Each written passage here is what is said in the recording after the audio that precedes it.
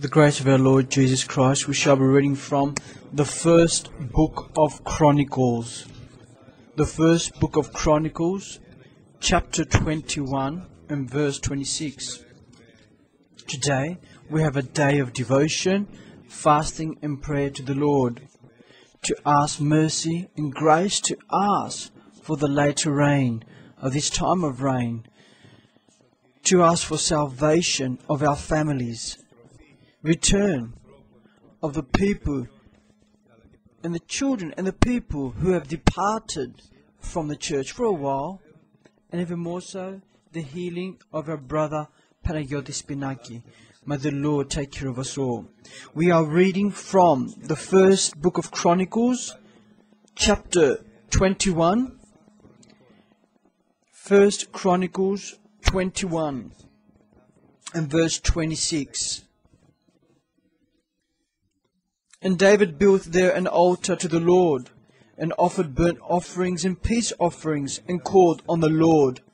And he answered him from heaven by fire on the altar of burnt offering.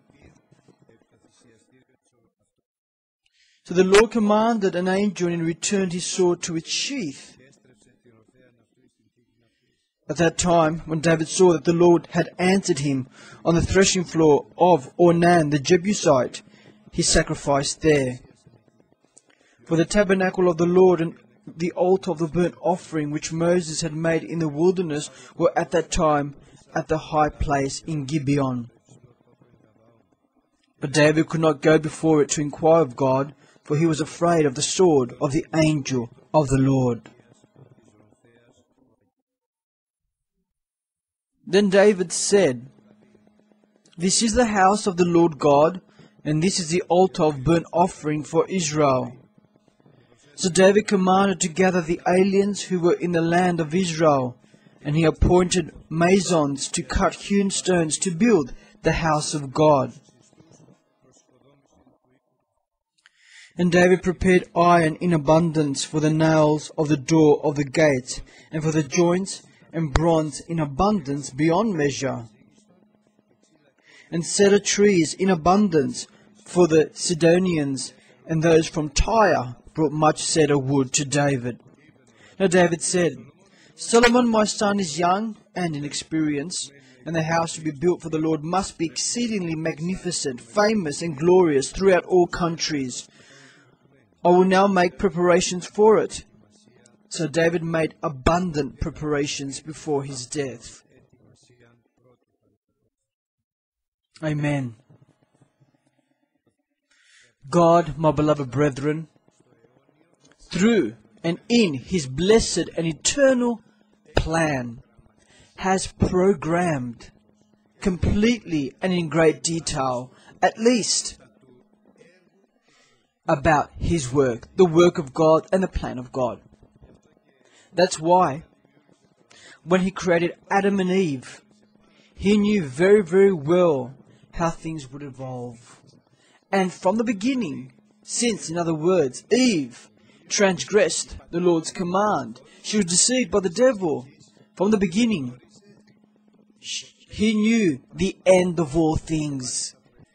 God knew everything, and he prophesied, saying to the woman that, and to the serpent, that from your seed I will crush the head of the serpent, the devil, and he shall bruise his heel.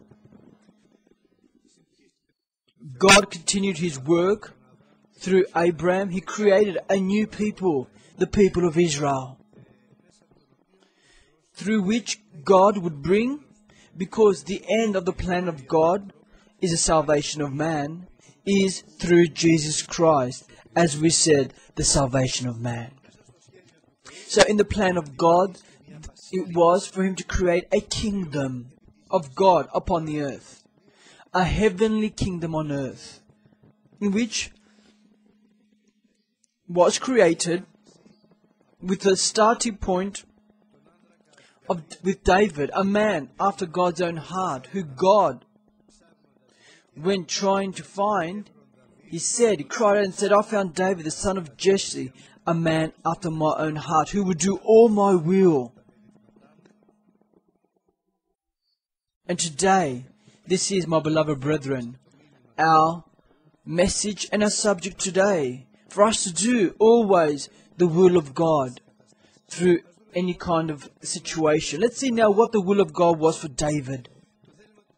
The will of God for David was the creation of the kingdom of God on earth, in which there will be no end to, because in this kingdom Christ will reign and upon earth for a thousand years, and through this reign we will reign also the priests and the kings of Most High throughout eternity. But through the special plan of God, there was to be built a temple in which God would dwell in. The magnificent Temple of Solomon. And even more so, through the Word of God, it is evident, and I'd like us to see this together. It's in it's in Deuteronomy Deuteronomy chapter 12 verse 5. Deuteronomy, sorry, chapter 12 and verse 11. Deuteronomy 12:11 Then there will be the place where the Lord your God chooses to make his name abide. There you shall bring all that I command you your burnt offerings, your sacrifices, your tithes, the heave offerings of your hand, and all your choice offerings which you vow to the Lord. So God does not give freedom to people to worship God where they want to, but also in the Old Testament and the New Testament, He has pre-appointed a temple of God, a house of God, where God dwells in.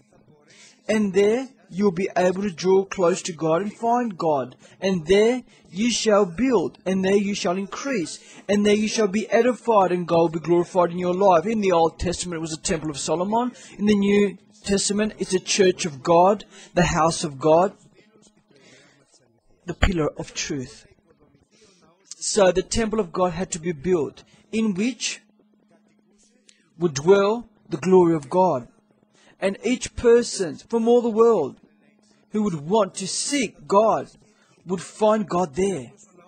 And this temple would be magnificent, famous, and glorious throughout all the world. This was therefore the plan of God. And now he must prepare it. David must prepare it. In the beginning, God put in David's heart when he blessed him and made him prosper, increased him, not only did he establish him as king, but also a glorious king at that. He put and placed in his heart. And he decided to build a house for the Lord. It was a very nice decision, but it wasn't according to the will of God. And it doesn't matter, and here we want us to be careful of. If our decisions are right and beautiful and pleasing according to our opinion for God, that's not what the crucial point is for us to decide. We, according to our opinion, the will of God. Even if it is the best. Because it is the best what now David decides to do. To build a house, a magnificent house, a glorious house for the glory of God, for God to dwell in. And it is according to the plan of God also. But it's not in detail according to the will of God. That's why when he speaks with Nathan the prophet, Nathan is happy and says, Do what it's in your heart because God is with you. But when Nathan leaves, God visits Nathan and said, No. Go and tell him, My will is something else. His thoughts are good, they're pleasing before my eyes, but it's not what I have programmed to happen. I repeat, this isn't what I have programmed. It is necessary, and David and every person of God, to try the will of God, which is good, acceptable, and perfect, to know and to be assured if this is what God truly has programmed and afterwards to go on. Why? Because if he doesn't walk exactly on the footprints of Christ, then the danger is great and for himself, but also for the work of God. Of course, God loves David because David's sincere and he's got a heart that's upright and perfect before the Lord. That's why he sends a message to David with Nathan the prophet. Specific and completely clear. So, he says, Go and tell David that you have placed in your heart to build a temple for me. But I tell you, and I proclaim to you that I, God, will build a house for you. You have placed in your heart a good thought to build a temple, a house. But I have a better plan. You have a plan which is temporary, but I've got a plan which is eternal. You have a plan which is human, but I have a plan which is heavenly. And for every person that belongs to God, God has a plan. Not a plan that's temporary. Not a plan that's earthly. Not a plan that's human. But a glorious heavenly plan which has one goal for Christ to be glorified. For Christ to save. For the name of Christ to be exalted for the word, his word to be fulfilled and the will of God to be completed. That's why tell my servant David that he was a shepherd who kept a few sheep in which I gave them to him in the first place. But I discerned how he kept these sheep. He kept them with love. They were his. And when danger came for his sheep and for himself, he did not take under account his own life. But even before the lion and the bear, he placed himself in the front line so he can protect these few sheep in which God had entrusted him with. And he found grace by God, and God gave him power, supernatural power, above human power and he overcame and he killed this 17 year old child, the lion and the bear, and he saved his sheep. And because he remained faithful in what was a few, I will establish him over a lot, the word of God says. And I established you from a shepherd boy to a governor of my people, in which I created then, a thousand years ago, with my servant Abraham, in which I tried and tested and established him father of faith and a father of the people of God. That's why I am happy for the decision that you have made. That's why I'm responding to your decision. You will not build a house for me, but I will build a house for you throughout eternity an eternal house, an eternal kingdom. About my house on earth, know that I have not programmed you to build this house, but I have planned for your son, who will be called Solomon. He will be peaceful man, a peaceful man. He will not be a man of blood and war, because I will give rest to him peace, glory, wisdom, and understanding so he can build. Not with his own logic, but with the plans in which you will give him, in which I give you. With the materials that you will prepare him for, in which I am providing you with. And with the counsel, the advice, and exhortation that you will give him because I give them to you first. And David, when he heard these things, was very happy. He glorified God. He wasn't saddened because his son would do what he had decided to do in his heart. He was happy because God honored him, spoke to him, revealed himself to him, and he uses him for the work, not that David wants for himself, but for the work that God has decided for David. And so he placed in his heart to build the temple. Solomon, his son, he put in David's heart. But now, there is a crucial point, a basic detail, which is a place in which the temple will be built on. David doesn't know that there must be a place. Doesn't know anything. Why? Because he's a man. Doesn't know a thing. Nothing at all. We don't know anything, my brethren, because we are people.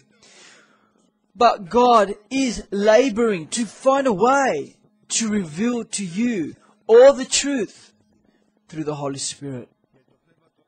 Because the Holy Spirit will lead us to all the truth.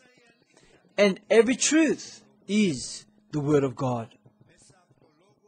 Through the Word of God, God revealed to you all the truth. The Holy Spirit, the Helper, the Spirit of truth will reveal it to you for your salvation, for the salvation of your family, for the, your happiness on earth, but also for the salvation of your soul and eternal life, in which He will give you as an inheritance. There is a place pre-appointed by God. Dave doesn't know it. It's a place where a thousand years ago, since David, two thousand years ago from us, God, the first man that he used to create the people of Israel, Abraham, he tested him on with a trial of faith which was horrific when he said to him, Your son in which you love, and which is all the promises upon, my promises upon, I say to you, go and sacrifice him on the, on the mountain in which I will reveal to you. And Abraham, because truly he was a man of faith, he did not talk about the word of God, but he started off a journey of three days and he climbed the Mount Moriah. And there on Mount Moriah, he bound his son Isaac. He even lifted up the knife to kill him, according to the word of God. But the Lord did not allow it. And he promised him great things. He said to him, I who bless will bless you, and I will multiply your seed as the stars in heaven and the sands on the beach. Your seed will reign over all your enemies. And through your seed, all the nations will be blessed because you obeyed my voice. And there on Mount Moriah, in which he was found, and he, Abraham, called, the Lord will provide. There, the Lord had foreseen the building of the Temple of Solomon. A thousand years went by. The land of Israel was divided, and this region was inherited by Ornan, who was a man truly according to God's own heart also. But for us to see this, let's firstly go to chapter 3 of Second Chronicles. Chapter 3, sec- Second Chronicles, sorry, chapter 3 verse 1. Second Chronicles chapter 3 verse 1. The Bible says, Now Solomon began to build the house of the Lord at Jerusalem on Mount Moriah, where the Lord had appeared to his father David. At the place that David had prepared on the threshing floor for Ornan the Jebusite. Here it is, my beloved brethren, the place in which God had preappointed. the Mount Moriah where Abraham went to sacrifice his son, and he was called the Lord will provide. But also the threshing floor of Ornan, who he inherited when God divided the land of Israel. But how would David get there?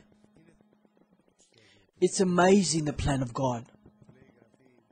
The Bible says at some point in time when David reached his glory and he crushed all his enemies.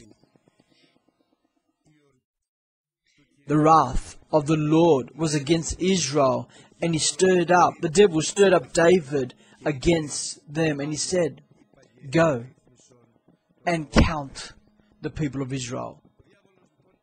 The devil therefore expressed his wrath against the people of Israel and God permitted it. And this is the amazing part. That God uses all the means as once he used the devil for Job because he had intentions. God had intentions to upgrade his relation with Job. So Job was always blameless, upright, shunning evil. He was pure before the Lord. But he had not reached where God wanted him to be, so close to him. And he allowed the devil to tempt him. So through this temptation, for the blessings of God to come, the greater blessings. So Job can say, Until now I heard with my ears about you, but now I see with my eyes. And he blessed his past double in his future. And now again, God will give grace. He will permit the devil to deceive David so David can be puffed up to do something, for David to do something that God doesn't like, to boast about the multitude of his soldiers, and to hope in the multitude of his soldiers instead of boasting in the Lord and hoping only in God.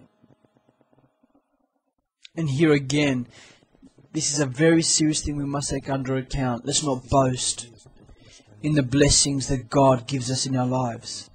By grace, my brethren, we have and we enjoy and obtain what we have. By grace of God. Let's be very careful when we talk about how much God has blessed us. Let's be very, very careful let's be careful. So, the glory we always give to Jesus. He who boasts must always, must always boast in the Lord. And so, the Lord was angry. Joab, the man of iniquity, advised David not to count the people.